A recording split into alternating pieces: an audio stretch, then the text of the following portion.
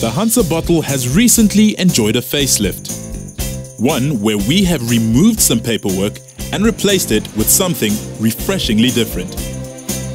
The new bottle now sports an embossed body and a sleeker profile.